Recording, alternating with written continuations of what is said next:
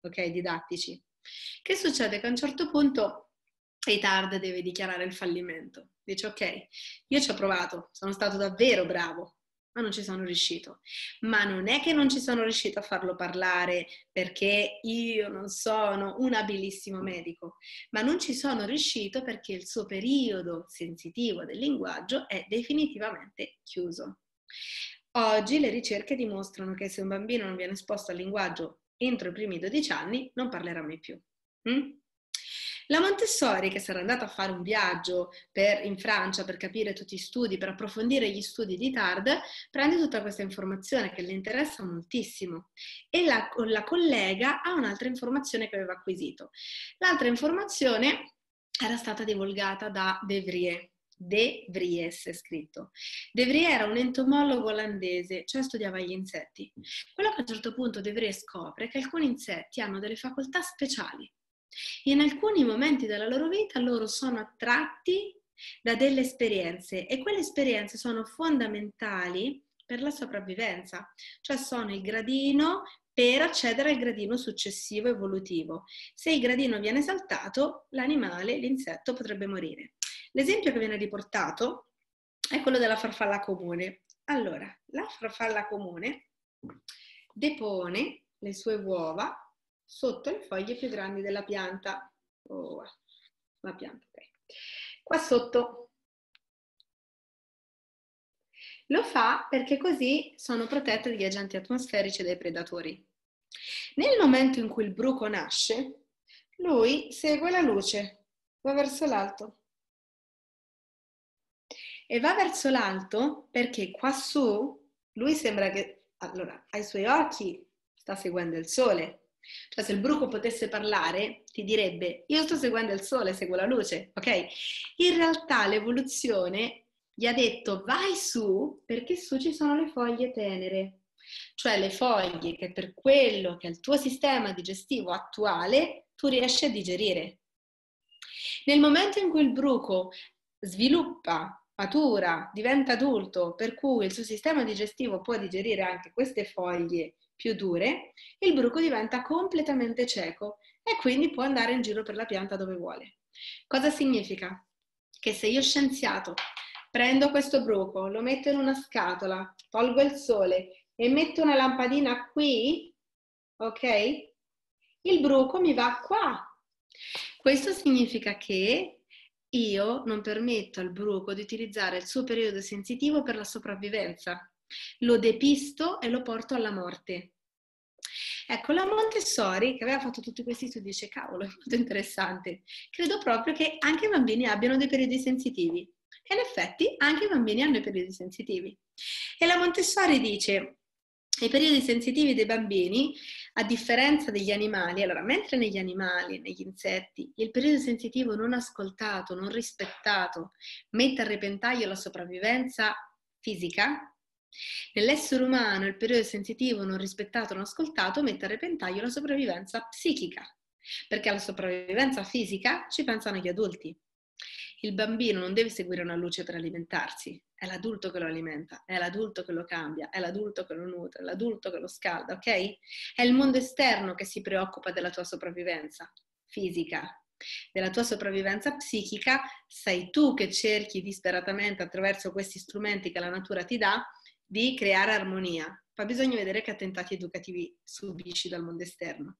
I periodi sensitivi che la Montessori identifica sono movimento, linguaggio e ordine. Io a questi tre aggiungo anche autonomia e contatto. Partiamo dall'ultimo, dal contatto.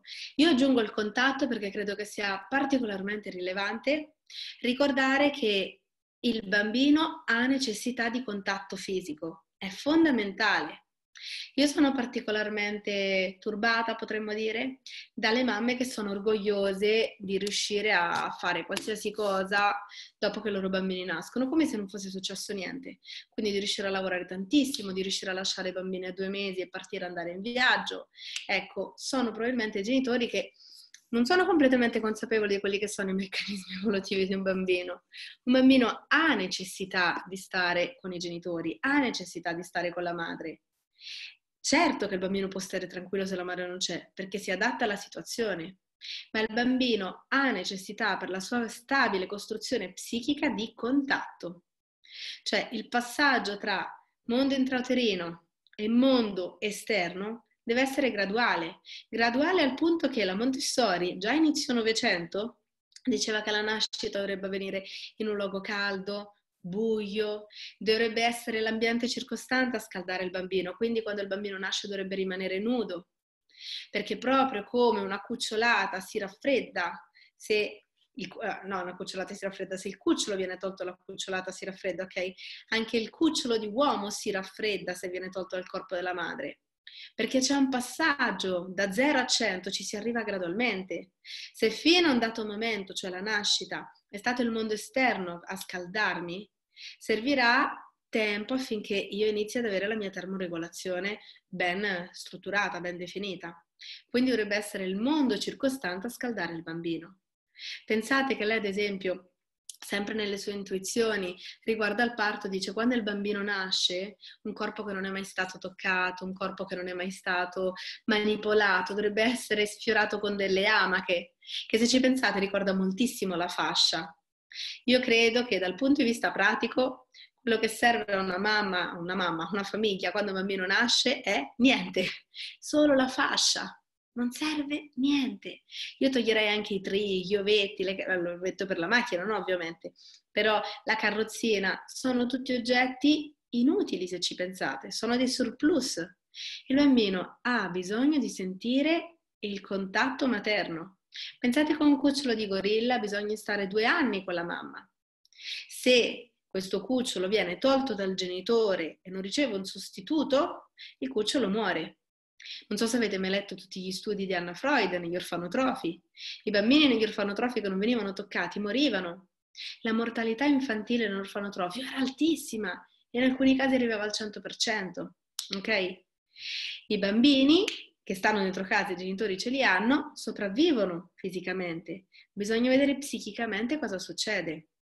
Ok, poi ho letto anche una cosa molto interessante sulla rivista UPA, adesso non ricordo esattamente quando, comunque parlavano delle coliche e um, dicevano insomma che eh, non c'è ancora una, una, definizione comune riguardo quelle che sono le coliche, non si è capito esattamente cosa sono, come partono, come funzionano. Però c'è un dato interessante che i bambini che vengono tenuti in fascia, ad esempio, hanno una percentuale inferiore di coliche. Cioè, se è vero che la termoregolazione il bambino non ce l'ha subito, ma dipende dal mondo esterno, cosa succede? Che io bambino mangio, vengo messo nella culla o nella carrozzina, mi raffreddo. Se mi raffreddo ho un'indigestione. Se ho un'indigestione sto male, ho la colica. Se io mangio e rimango dentro la fascia di mamma, a contatto con mamma, con il calore suo che diventa anche il mio, io la colica non ce l'ho. Comunque su questo vi lascio la riflessione aperta, è una cosa molto interessante. Provate a fare un po' di indagine tra tutte le persone che avete intorno, tra chi ha avuto coliche e non coliche, cercate di chiedere come il bambino è stato eh, seguito e, e quanto contatto c'è stato con la mamma. Poi vi dicevo, gli altri primi sensitivi sono quindi movimento, linguaggio, ordine e io aggiungevo contatto, autonomia. Contatto ve l'ho detto, adesso andiamo sul movimento. Il movimento lei lo intuisce come periodo sensitivo, ma la persona che più di tutti è riuscita a studiare in maniera dettagliata, precisa, puntuale, affascinante il movimento dei bambini è Amy Pickler. Amy Pickler è stata una pediatra ungherese che ha lavorato negli orfanotrofi. Ok, Amy Pickler ha dedicato la sua vita professionale allo studio dei movimenti intermedi e allo studio della cura dei bisogni primari dei bambini. Quindi sonno, cambio, pasto. Quello che lei dice del movimento è che il corpo del bambino è un meccanismo perfetto, che ha un'evoluzione scritta dentro, ok? Il bambino sa come si evolve, il bambino sa come si deve muovere, deve solo essere messo nelle condizioni di poterlo fare.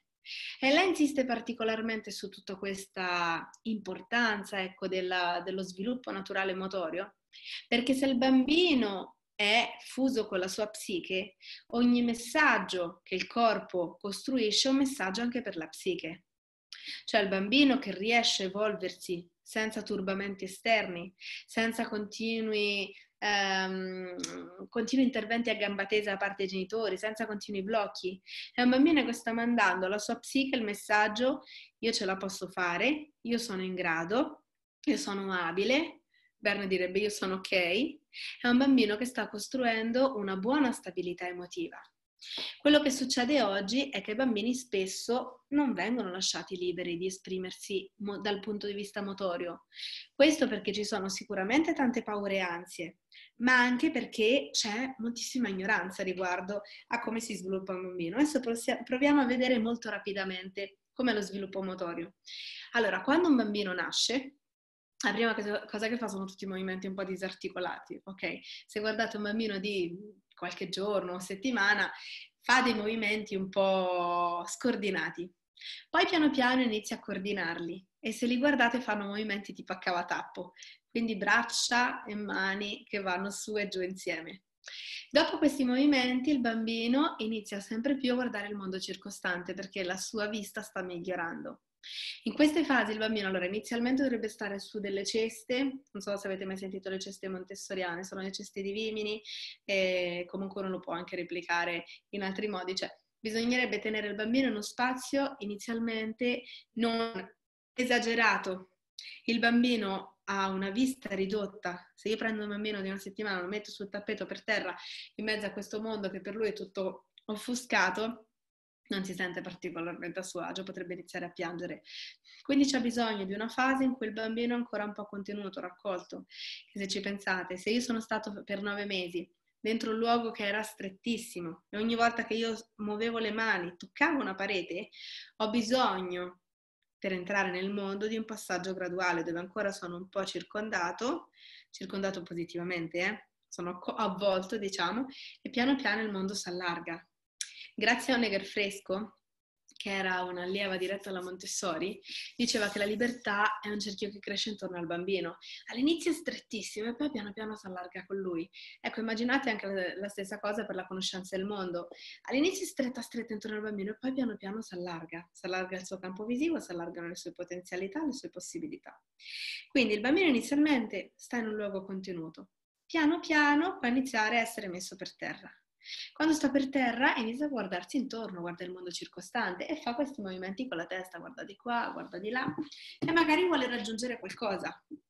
Arriva il momento in cui il bambino, per sbaglio, per scelta, per tentativi, riesce a rotolare, si ritrova a pancia sotto, lancia una gamba e plup, si ritrova giù, girato. A quel punto è schiacciato a terra, quindi avete presente quando rimangono così? Ecco, il movimento che inizia a mettere in atto quando si ritrova pancia sotto è spingere con le braccia. Il suo istinto gli dice di spingere per riuscire a tirare la sua testa e riguardarsi intorno o anche per girarla semplicemente prima di ricadere. Questo è l'unico momento in cui secondo me il bambino potrebbe essere rimesso indietro, perché è una posizione in cui lui ancora non possiede totalmente la reversibilità, non riesce a tornare indietro, ok? E quando prova molta frustrazione è, è giusto aiutarlo. Comunque, tornando alla sua posizione prona, quello che fa è stare giù, spingere con le braccia e poi inizia piano piano a strisciare, cioè vedo una cosa davanti a me e striscio e rotolo, rotolo, rotolo, rotolo, rotolo, rotolo, quindi piano piano acquisisco la reversibilità e mi sto già spostando, mi sto già muovendo. Un bambino che rotola raggiunge quello che vuole rotolando, rotolo, rotolo, faccio perno sul mio corpo, faccio una torsione, rotolo, rotolo, alla fine la raggiungo. Oppure striscio, striscio, striscio. Questi movimenti precedono solitamente il mettersi seduti. Perché un bambino, una volta che sta a pancia in sotto, inizia a fare, oltre questi spostamenti, inizia a fare altre due cose, che o spinge le braccia, spinge, spinge, spinge, spinge, spinge, spinge, a un certo punto scivola di lato e si siede, oppure spinge, tira su il sedere e si ritrova a gatto.